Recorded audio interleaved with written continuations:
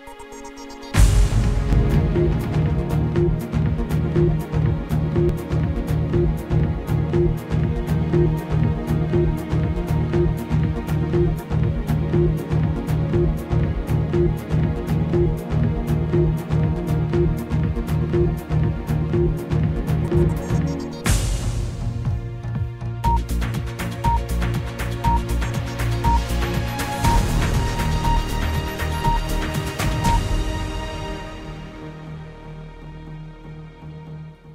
amigos de Cinco Días, buenas noches.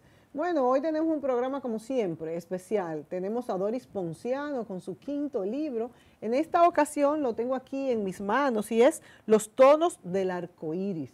Este libro fue presentado en la Fundación Ban Reservas Ah, pues con un nutrido público que estaba en expectativa sobre qué nos traía en esta ocasión Doris Ponciano. Doris, buenas noches. Buenas noches, Mónica. Tú siempre con tus libros vanguardistas, desde aquel que hiciste de, eh, a partir de tu cáncer de seno, cómo describiste pues cada etapa de, de esa situación tan difícil, pero que Qué bueno que lo hiciste porque sirvió de ejemplo a muchas mujeres que podemos tener ese problema, Dios líbranos, pero así puede suceder y con esa valentía que lo superaste. Cuéntanos ahora sobre tu último libro que es Los tonos del arco iris. Sí, Los tonos del arco iris es un libro que narra 13 historias sobre la comunidad LGBTI. Por supuesto, son historias, como historias son reales.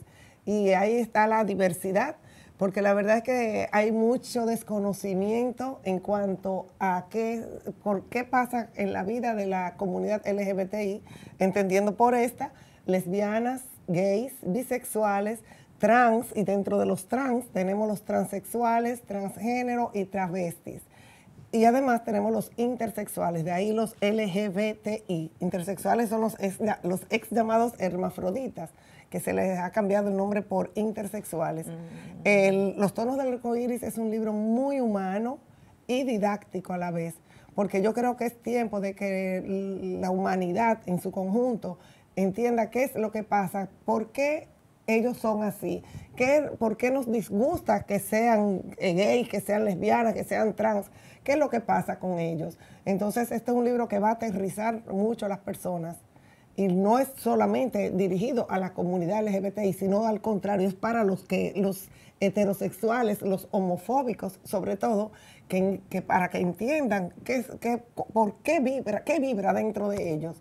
Y esa fue mi motivación para hacer este libro. Todos los libros míos son de historias reales. Eso me gusta mucho, Doris, que tú tomas un tema y a través de historias reales cuentas lo que está pasando esta persona. De hecho, tu propia historia real la pusiste de manifiesto en uno de, tus libros. Y en este caso de los tonos del arco iris, es un tema que despierta muchísima controversia, muchísimas emociones, eh, opiniones encontradas. Y como tú dices, yo creo que a todos nos interesa saber la realidad de lo que viven estas personas que muchas veces son juzgadas pues muy rápidamente sin adentrarnos a sus historias verdaderas, algo que nos da la oportunidad en este libro que, como tú bien dijiste, en lo que fue la presentación, pues tomaste el tiempo suficiente para conversar con cada uno, con cada uno de los protagonistas de estas historias y así nosotros podemos formarnos una idea. Así mismo es. Y, la idea es también, señores, que si usted tiene un hijo, un hermano, un, un amigo, que, es, que pertenece a la comunidad LGBT y no tiene por qué rechazarlo. Nosotros somos todos seres humanos, creados por el mismo Dios que, nos hizo a todos y tenemos que amarnos y respetarnos y aceptarnos no somos quienes para juzgar, porque cuántas cosas, cuántas colas no, tenemos nosotros para que nos, que nos pisen. Entonces, esa es la idea de este libro. Es didáctico, reitero, porque tiene también siete páginas al final de un glosario bastante extenso donde explica cada término que se usa en el libro Los tonos del arco iris. Y también tenemos durante el transcurso de este programa una invitada especial, Flor de Lis, que estará con nosotros porque ella es precisamente una de las protagonistas de estas historias que nos cuenta en los tonos del arco iris Doris Ponciano. Así que quédese ahí sentadita, que volvemos.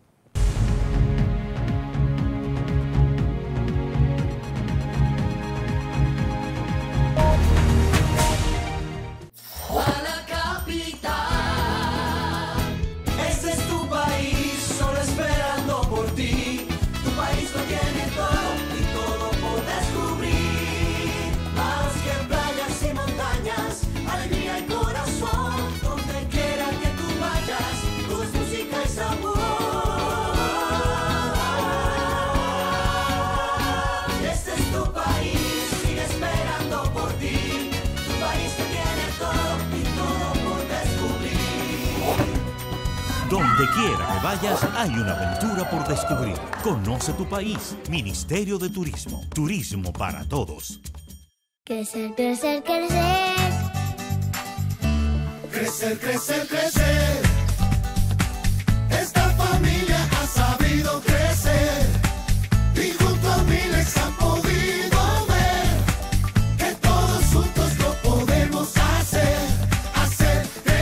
En Milex somos parte de una historia que sigue creciendo desde hace 60 años. Y junto a tu familia, la nuestra se hace más grande. República Dominicana crece con Milex. Service World. Preparamos todo tipo de laptop, electrodomésticos, proyectores, celulares, cámaras, impresoras y mucho más. Estamos ubicados en el primer nivel de Plaza Naco, número 14. Llámanos al 809-287-8302 y nuestro WhatsApp 809-802-6116. Con nuestra sucursal en Santiago en la Avenida Estrella Sadalán número 15, Plaza Isabel Emilia, local 103. Para más información 809-724-5315 y nuestro WhatsApp 809-287-8302. Service World. ¿Sabías que en la República Dominicana existe un mercado de valores donde participan inversionistas que demandan y ofertan acciones, bonos, cuotas de fondos de inversión, valores de fideicomiso, valores titularizados? Conócelo. La Superintendencia de Valores lo regula, supervisa y promueve con información oportuna, veraz, transparencia y protección al inversionista para contribuir al avance socioeconómico del país. El mercado de valores lo integran la bolsa de valores, bolsa de productos, depósito de valores, puestos de bolsa, administradoras de fondos de inversión, compañías titularizadoras y sociedades fiduciarias. Haz tu mejor elección. Más información en nuestra página web y redes sociales. Campaña de educación y protección al inversionista de la Superintendencia de Valores de la República Dominicana.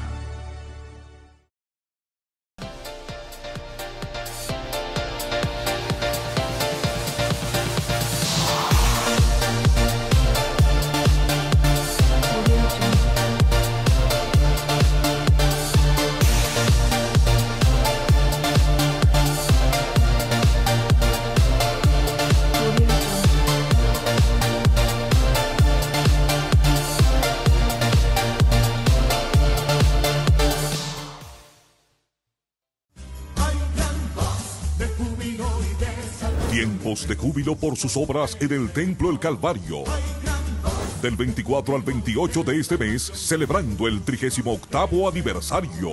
Mensajes con los pastores Jesús Diloné, Darío Mateo y Miguel Luperón. Además, cantantes invitados, testimonios, música en vivo. Cultos a las 7.30 de la noche y el domingo a las 10.30 de la mañana. Comparta con nosotros estos tiempos de júbilo por sus obras. Templo El Calvario en la Abraham Lincoln 964 a dos esquinas de la F. Kennedy. Dios quiere bendecirte. Te invitamos.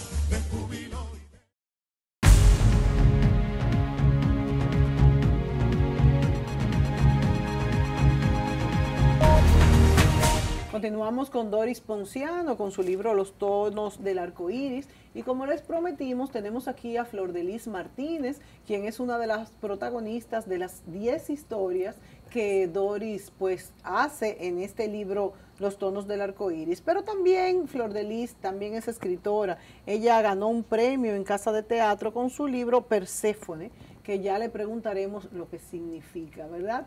Eh, Flor de Lis, bienvenida. Encantada, muchas gracias por invitarme. Qué bien que estés aquí con nosotros acompañándonos en dar a conocer lo que es este, este, estas historias, este libro que Doris Ponciano pues puso en circulación hace poco hablando de la, de la comunidad LGBT.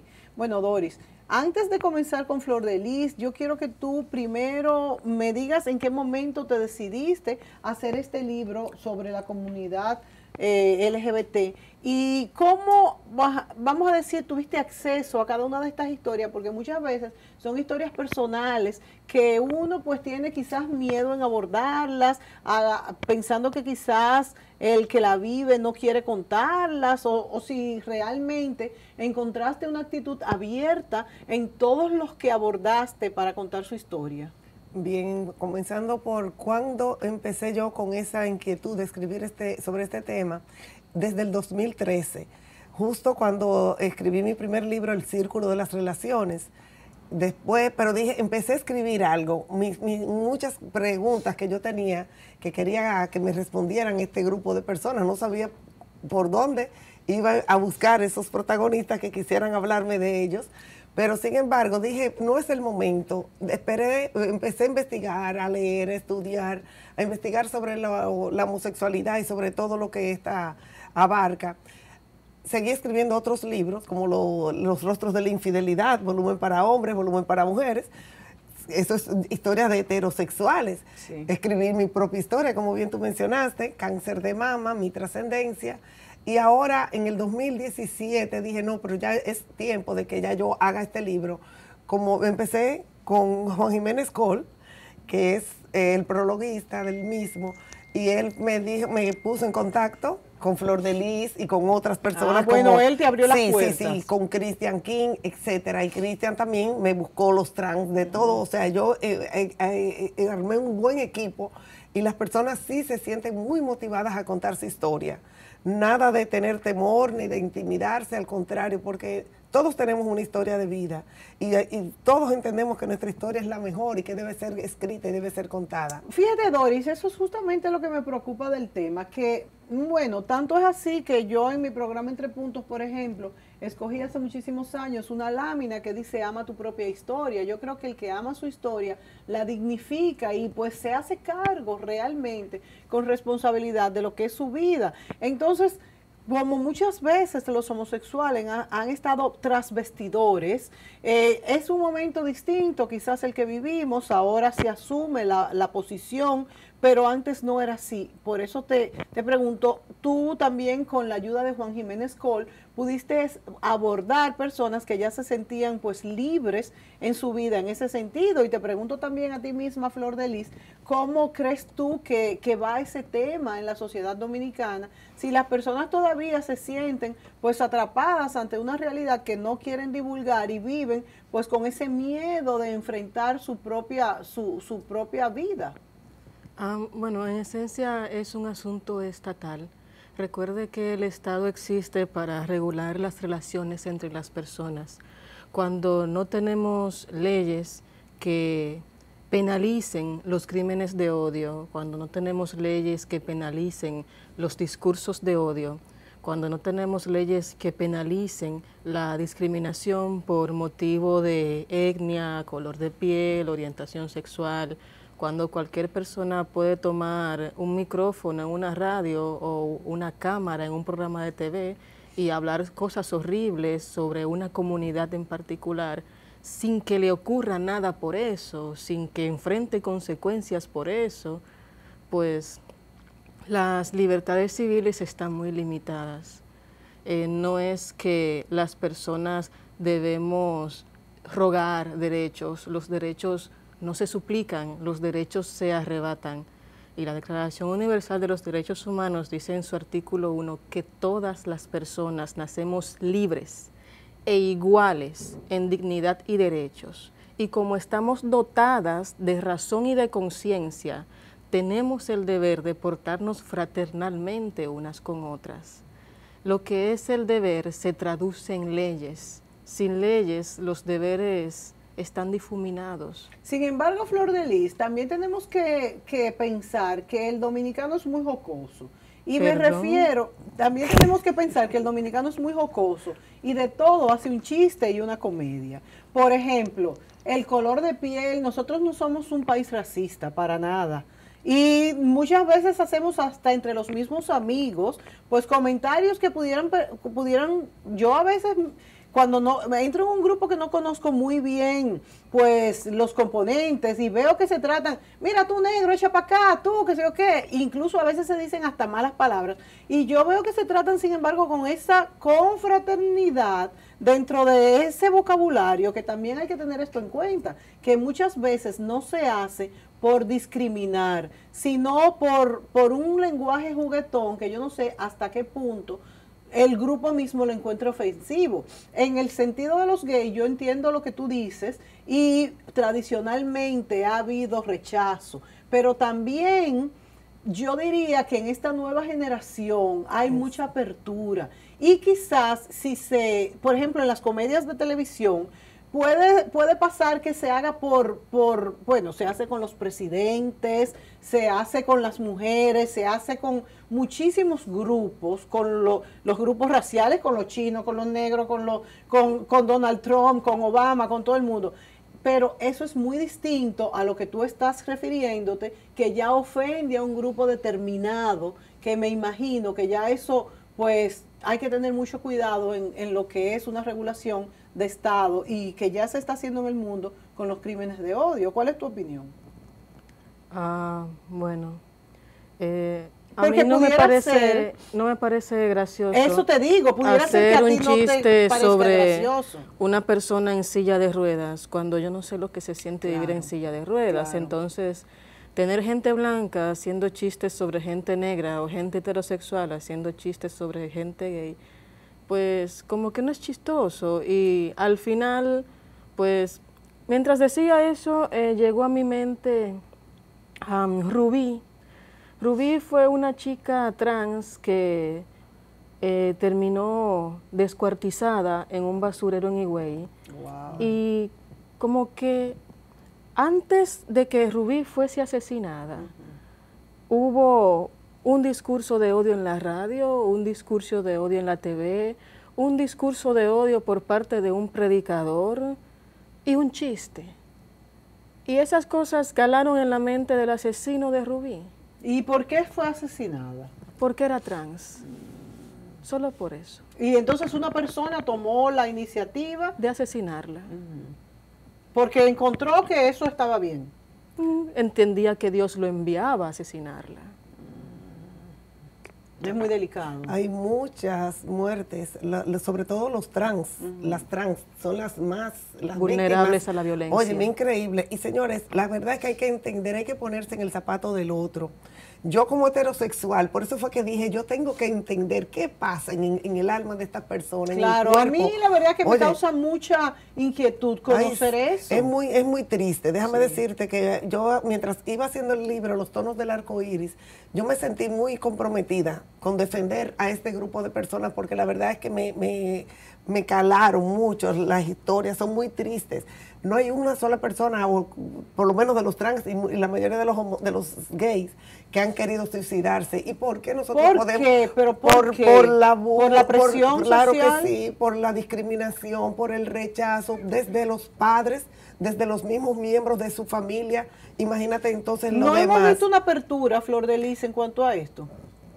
Mm, ¿Apertura en qué sentido? En, En mostrarnos en la TV no, como chistes con plumas no, de colores. No, es que yo creo desde afuera, y te lo hago como pregunta porque no lo sé, no lo he sentido, de que padres que he visto que tienen hijos homosexuales lo han acogido con, muy, con, con el mismo cariño que los que no son, amigos que también son acogidos igual que otros que no son, empleados que también lo han empleado. O sea, yo he visto eso, pero quiero saber si, si quizás eh, puede ser que sea en un círculo reducido el que yo he visto, y por eso te lo pregunto a ti. Am, sí, en derechos humanos entendemos un término llamado interseccionalidad. Eh, son, es cuando las categorías de discriminación se superponen. No es lo mismo un chico gay de clase media que un chico gay pobre. No es lo mismo un chico gay pobre apuesto que un chico gay pobre negro. No es lo mismo un chico gay pobre negro viviendo con VIH. Claro. Entonces, las categorías de discriminación, cuando nos vamos al aspecto socioeconómico, al aspecto étnico, al aspecto de condiciones de salud, incluso condiciones migratorias.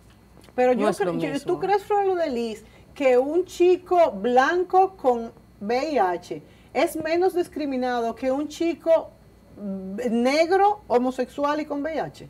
¿Y cuál es, por ejemplo, su estatus socioeconómico? ¿Cuál es su capacidad de acceso a los medicamentos Ah, no, antirretrovirales? claro, pero eso lo tenemos en todas las capas sociales. Si tú tienes cáncer y eres homosexual y no tienes dinero, es igualito que si tú no tienes, eres homosexual y tienes el mismo cáncer y no tienes dinero. Te va a pasar lo mismo. Por eso, no desde la que- perspectiva progresista, entendemos que esta división del mundo en heterosexuales y homosexuales, blancos y negros, es una división tonta. La única división real es burguesía y proletariado. Bueno, tú misma lo estás diciendo. Entonces no hay esa, esa clasificación en eh, heterosexuales y homosexuales. Lo que hay es el que lamentablemente, y eso está claro y todos lo vemos, en el que tiene el poder económico para comprar lo que necesita y el que no lo tiene, porque los estados no hemos conseguido pues eh, hacer políticas donde todos podamos tener alcance a la medicina, por ejemplo. Eh, se ha logrado, ha habido un, un gran adelanto porque ya el hecho de que haya una seguridad social y los, las personas puedan ir a un hospital ya es algo, pero falta mucho.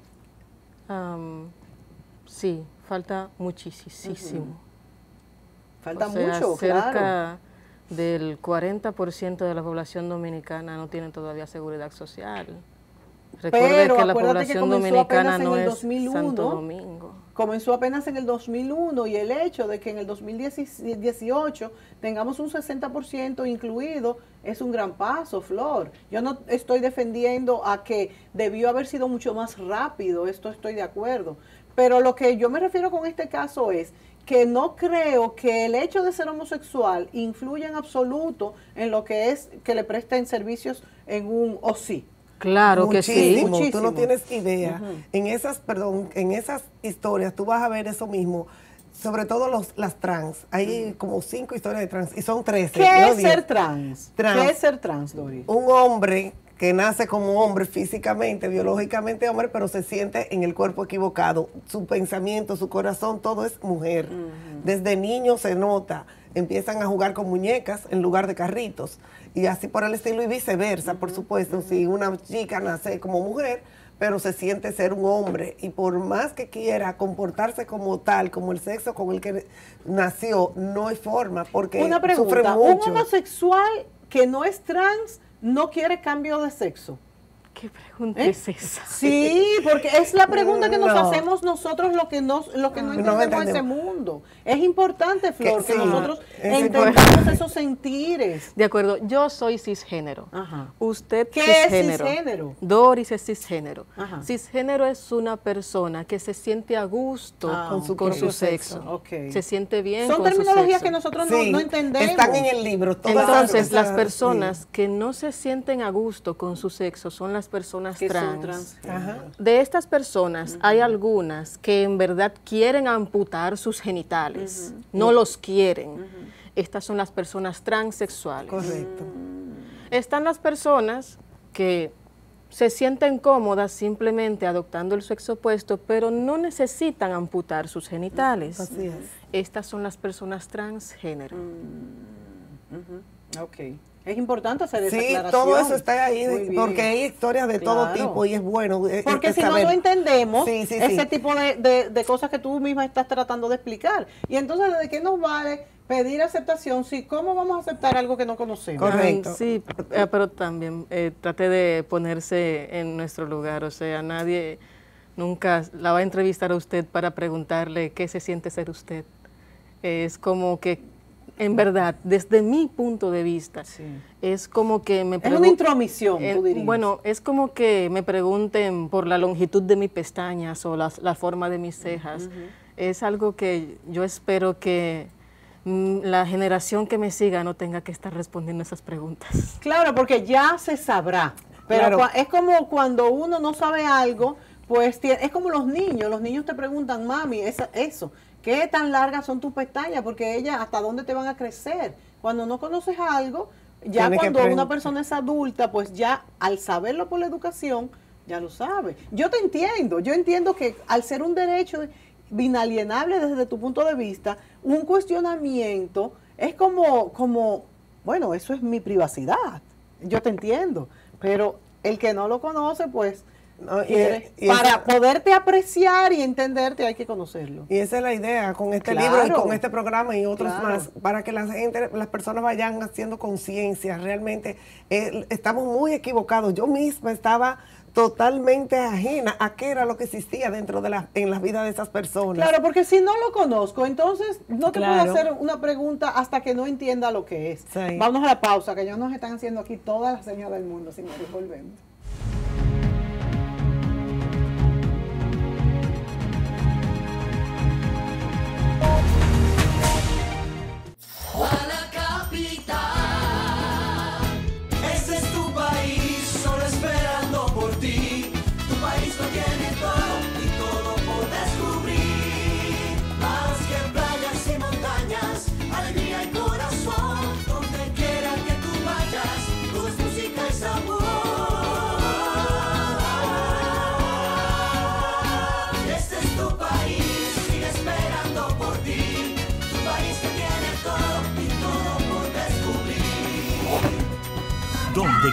Vayas hay una aventura por descubrir. Conoce tu país. Ministerio de Turismo. Turismo para todos. Crecer, crecer, crecer. Crecer, crecer, crecer.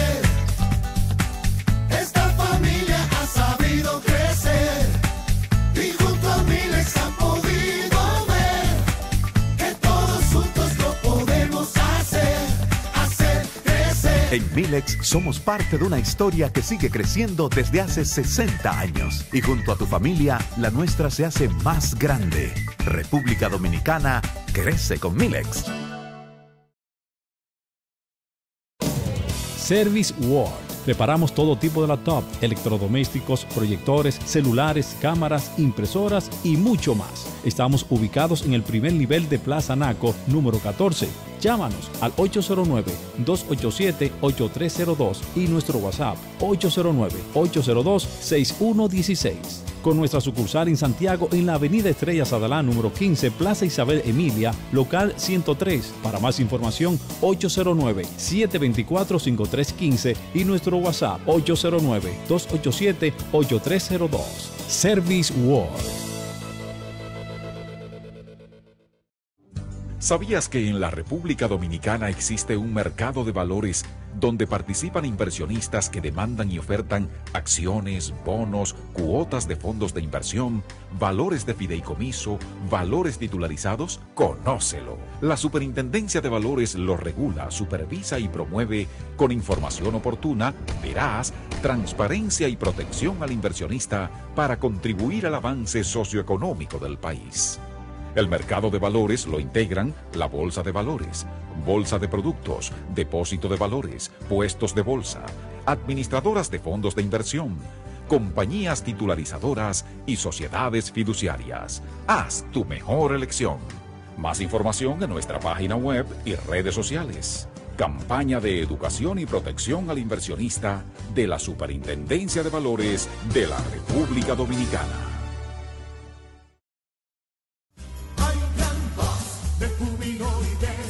Tiempos de júbilo por sus obras en el Templo El Calvario. Del 24 al 28 de este mes, celebrando el 38 aniversario. Mensajes con los pastores Jesús Diloné, Darío Mateo y Miguel Luperón. Además, cantantes invitados, testimonios, música en vivo. Cultos a las 7.30 de la noche y el domingo a las 10.30 de la mañana. Comparta con nosotros estos tiempos de júbilo por sus obras. Templo El Calvario en la Abraham Lincoln 964 a dos esquinas de la F. Kennedy. Dios quiere bendecirte. Te invitamos.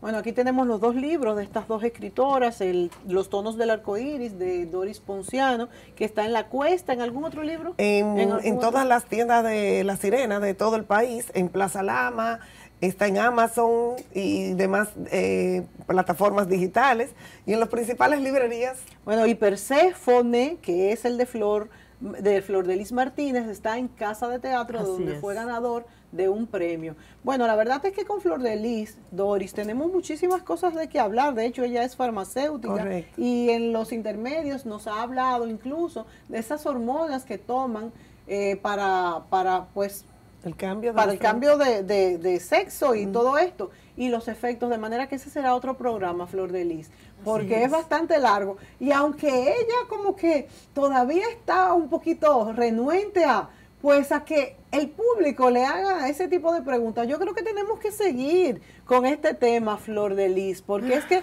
no podemos entender lo que no conocemos. De hecho. Doris, en estos tres minutos que nos quedan, háblame un poco, así, danos una, una visión de las historias, de cada una de esas historias que hiciste para este libro, Los tonos del arco iris. Bien, la, hay, como te dije, hay historias de gays, bisexuales, trans, en, todo, en toda su gama, eh, intersexuales, que son los hermafroditas, que también sufren muchísimo. Lo que sí, el común denominador que yo pude lograr en, eh, conseguir en estas, estas historias es el sufrimiento por el rechazo, por el bullying que les hacen, por el rechazo sobre todo de sus padres. Señores, cuando uno nace, lo que el amor más grande de la vida es su mamá y su papá, y si tus padres te rechazan, porque tú tienes una condición diferente a la que ellos esperaban de ti. Eso es terrible. La mayoría, vuelvo y te digo, casi el 100% ha tratado de suicidarse en muchas ocasiones. Yo creo que ahora se está dando un cambio. Las nuevas generaciones, por ejemplo, mis hijos que son de 20 y pico, 30 años, ya aceptan eso como si nada. Incluso cuando fue una trans o dos trans a mi casa, ah, comieron conmigo y todo, y con ellos en la mesa, pero cuando yo los invité para hacerles sus historias, escribir sus historias, y mis hijos para nada se, se horrorizaron, se horrorizaron, ni mucho menos. Y yo loca porque me dijeran, a veces me decían algo, no, lo aceptan como una realidad, pero ¿y ¿cuál es el problema de que sean de una forma o que sean otra? Nadie elige tener un sexo eh, determinado, una, una, una eh, preferencia, no, una Orientación. orientación sexual. Yo no elegí ser heterosexual. Ellos no eligieron ser homosexuales, ¿eh? ni, ni- ni trans. Entonces eso es lo que tenemos que entender. Las iglesias también, los predicadores, los sacerdotes, los curas, los, la gente de, de lo- los maestros que hablan tanto, señores. Nosotros tenemos que buscar es el amor y la aceptación, no digregarnos, no enfrentarnos con, los, con esta, esta clase de personas que son tan humanos como cualquiera de nosotros. Entonces, que tienen muchos valores y una condición no define a una persona. Eso es lo que yo busco, que, lo, que se entiendan, que se amen, que se quieran, que los padres, en lugar de tirar a sus hijos para la calle, a prostituirse o a delinquir, que los acepten. Es una situación que ellos no quisieron tenerla, ellos nacieron de esa forma. En la mayoría, en la mayoría de los casos, yo no digo que hayan algunos que lo hagan de- para prostituirse, por intereses, por Eso situaciones también es otro determinadas. tema que me gustaría tratar con Flor de Lis, qué porcentaje quizás es por prostitución y otro por, por una orientación que, que, que viene dada por- desde el nacimiento. Ah, bueno, eh, puedo hablarle de lo que conozco. Lo que conozco es una comunidad de lesbianas que son trabajadoras sexuales por necesidad, pero son lesbianas. Pero son, exacto, su condición desde el principio fue esta. Lesbiana. Bueno, pues vamos a tener que seguir hablando con Flor y con Doris para que, para poder entender mejor pues este, este tipo de, de orientación, esta forma de vida. Y como tú muy bien explicas, Flor de Lis, pues no tratar de entender hasta qué punto uno puede pues hacer que ellos no se sientan cómodos y entonces poderlo evitar. Gracias Flor de Lis, gracias Dori por estar aquí con nosotros en cinco días y será, señores, hasta la próxima entrega. Buenas noches.